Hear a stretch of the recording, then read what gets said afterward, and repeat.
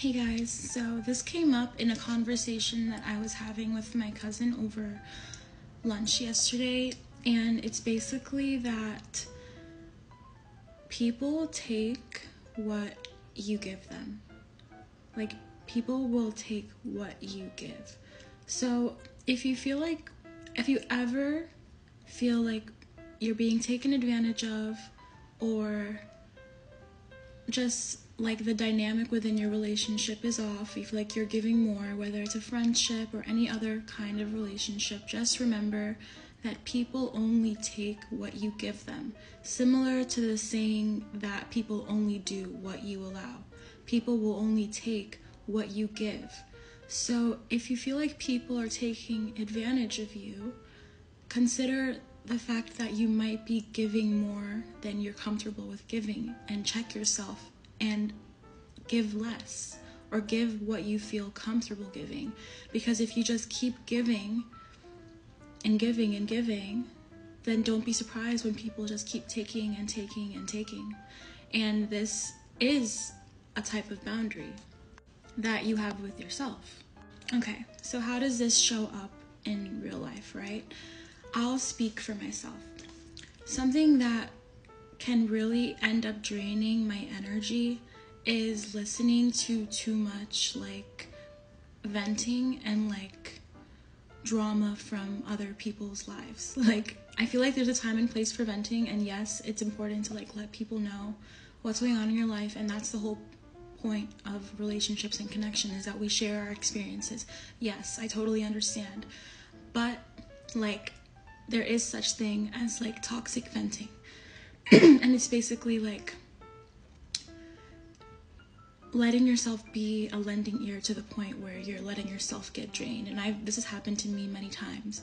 But the whole thing that I've learned is that people will only take what you give. So if you stand there and someone this is what always happens to me actually. If you stand there and you just let somebody like talk to you and take up your time complaining about their life, complaining about XYZ for however long, and at the end of it, you're feeling like your energy is lower and like you gotta take a nap or something and you're tired because you just stood there and like listened to this endless list of complaints from this person, you might have given too much of your time and you allowed them to take it. So, for example, for me, next time I'm in that situation, I was actually journaling, journaling about it this morning. I will excuse myself, or if I can't get out of that situation, I will change the topic because that is now a new boundary that I have to have with myself because that for me feels like it's draining my energy and people will only take what you give. So if I can, if I only give maybe like five, ten minutes into listening to someone's drama and, and like their, their stories and like their, you know, whatever the, the case may be, then they will only take that. But if I give an hour of my time during my workday, true story, then they will take that hour or more if I don't excuse myself. So that's how boundaries tend to go in real life. Like that's how they look like in real life. People only take what you give. Okay, dating. Men will only take what you give, women will only take what you give. So if you're overgiving, that's your responsibility to then give less if, if you felt like you did too much in the next encounter with that person.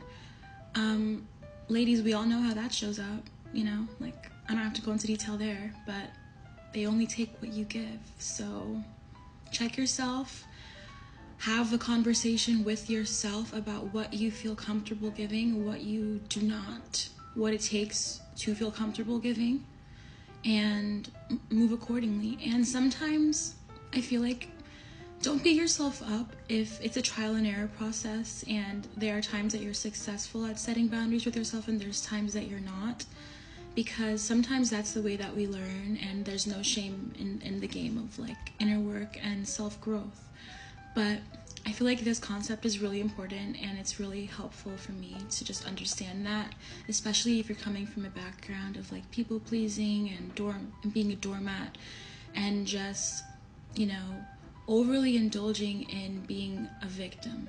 Like it's not in, like you want to get to a more empowered place and you have accountability and agency over your life. Nobody else does, only you. You are in control of your energy, of your time, of what you give your attention, which is also your energy too. So just be wary of that and understand that people will take what you give.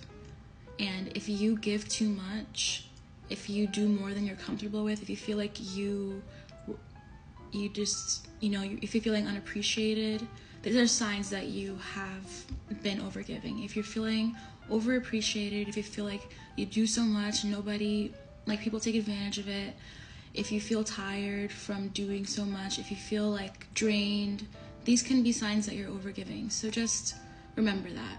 And, you know, I feel like it's really empowering to understand that you are in control of your life. You're in control of where who you give your time to, what you spend your time on. And you know, your energy is your responsibility. So do what you need to do to protect it. And yeah, it's all an inner conversation and it's it's nothing to do with other people at the end of the day. So